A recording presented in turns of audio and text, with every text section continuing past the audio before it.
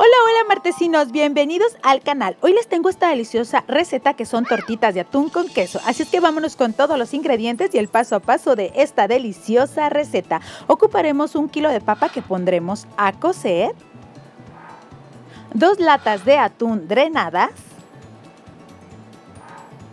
tres huevos, uno para mezclar con los ingredientes y los otros dos para empanizar, queso que se gratine, pimienta, comino molido o entero, según sea tu gusto, sal, harina y pan molido. Y ahora sí, vámonos con el procedimiento. Cuando la papa ya esté perfectamente cocida, bueno, pues la vamos a triturar. Te puedes ayudar con algún tenedor. Esta es la consistencia de la papa. Cuando esté así, le vas a incorporar los demás ingredientes, que es el huevo, el atún, las dos cucharadas de pan molido,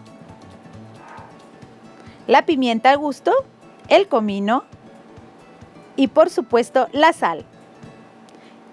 Y bueno, pues ahora vas a incorporar todo, a mezclarlo perfectamente. Cuando esté así, te vas a ayudar con una cuchara para hacer esas bolitas. Un tip muy importante, te sugiero que te pongas un poco de aceite para que no se te pegue. Le pones el queso en medio, lo envuelves y así es como te tienen que quedar estas deliciosas tortitas.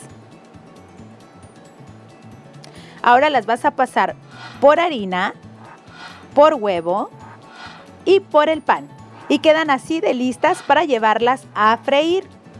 En una sartén muy caliente le vas a poner aceite y las vas a poner a freír hasta que queden totalmente doraditas como se ven aquí en las imágenes. Y de verdad que quedan súper ricas, martesinos. Espero de verdad que les haya gustado esta receta, que la compartan con su familia y sobre todo con sus chiquitines.